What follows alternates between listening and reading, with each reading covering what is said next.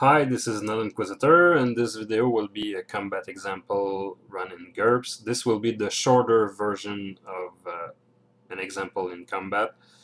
You may want to check the uh, other video I did about the same process.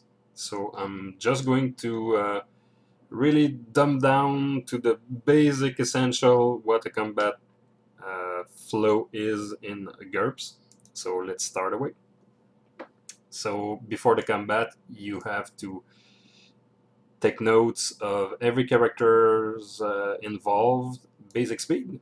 So this stat you will find uh, in your secondary characteristic on each character sheet. This is uh, located here on my little template. So both of my character here have 5 in speed. So I will have to uh, split this character and decide which one of them will act first. I could go by dexterity, I could go by, by IQ or even perception or even will if it's a if it's a battle of will. But in this case I will just throw a dice and just determine who's gonna go first. So Manfred is a 1 and Chepe is a 6. So Chepe will go first with the basic speed of 5 in parentheses 6 and it, like we say voila. So if you have uh, I don't know five characters uh, you can already know who's going to act first if everything is according goes according to plan so uh, in this case, Chepe will act first. He will choose a maneuver in uh, the book. Uh, you can find the basic maneuvers in uh, the GURPS basic sets uh, 2 campaigns at the page 363. There is a full description of all the maneuvers, but let's keep it simple.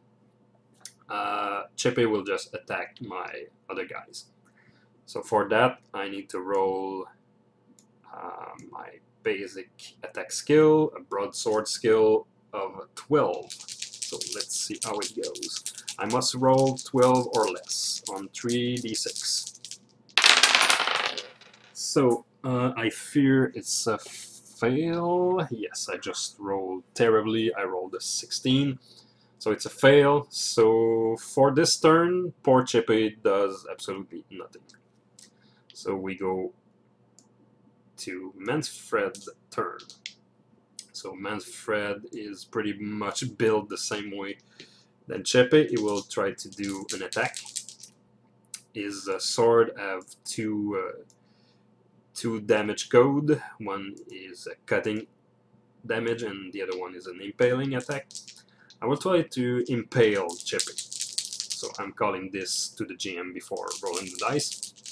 Make it fair and then I'm rolling against is uh, broadsword skill of 12.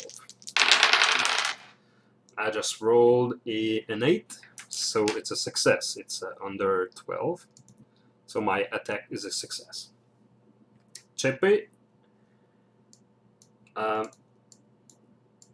since the maneuver was a success, we're going to step 3, and Chepe have the occasion now to defend against this attack. He can dodge, he can parry, or block. So uh, Chepe have a shield. Um, does he have a shield? let's pretend he doesn't have a shield. Yeah, let's go dual style, blade against blade. He will try to parry. So Chepe have a score of uh, 9 in parry with his sword. So I'll try to uh, roll this as you can see, the, um, the parry score is generally a little bit uh, less than uh, the, uh, the attack one, just because it, it's calculated with a different formula. So um, in generally, your defense scores will be a little bit uh, uh, a little bit less lesser than, than the attack skill. So I'm gonna try to parry with Chepe. So that's a that's a 17. It's a critical failure. So that doesn't go well for Chepe. So since uh, the defense is uh, unsuccessful, we roll for damage for Mr. Manfred. So Manfred have called an attack called uh, Impaling Attack. I'm gonna roll one dice damage, and this is a three points of damage. So normally I would just remove from the current current HP or hit points of Chepe, I would uh, remove three points. But there is a little check uh, for damage resistance or armor. And uh, Chepe indeed have a leather armor and a DR of 2. So the damage we rolled earlier, uh, 3 minus 2, is just 1. So Chepe just received 1 point of damage. Last step is damage consequences. If any damage bypass the armor, uh, it's possible that you, you receive a blow and the armor will take uh, all the damage. In this case, if I had to roll one point of damage, the armor of Chepe would have soaked all the damage and we, we would have stopped at uh, step 5 and just return to step 1 and, and Sir Manfred would, would continue with his action. So, uh, but since we we we uh, Port Chepe lost one point of damage, we're going to go with the damage consequences. Uh, you can find this in the GURPS Basic Set 2 at the page um, 418. This is chapter 14, Injuries, Illness, and Fatigue. This is where you will find all the rules for uh, damage and receiving receiving injuries and wounds.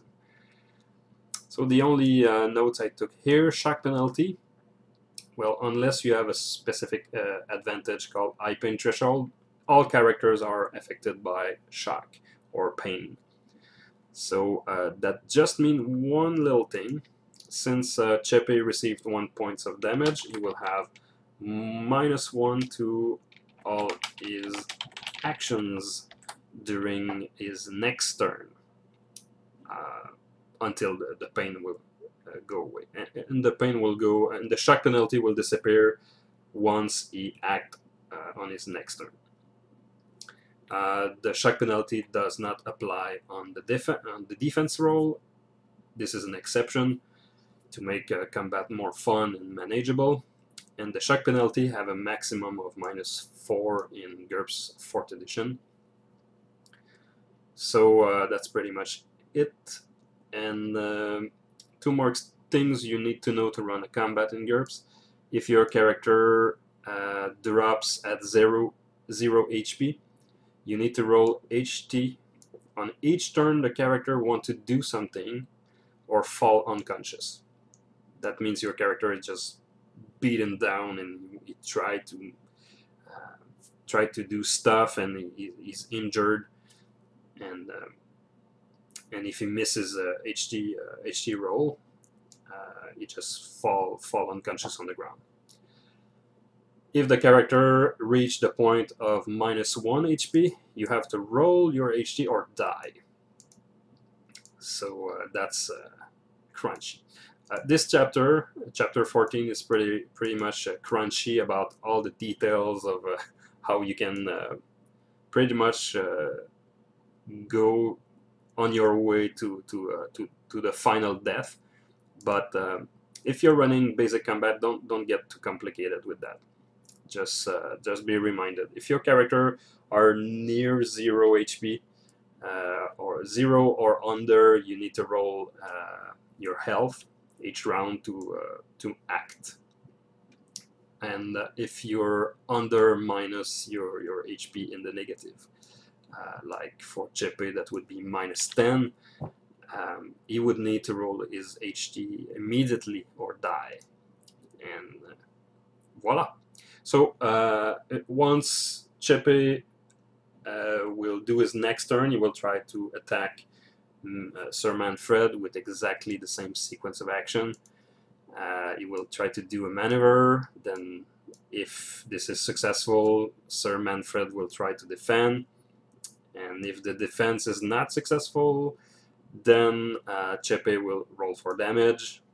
We'll have a little check just to see if there's any armor or damage resistance, and then if there is any consequence to uh, that blow. And when we start, horror again. So thanks for watching. This was the basic version of the combat uh, flow. So thanks for watching.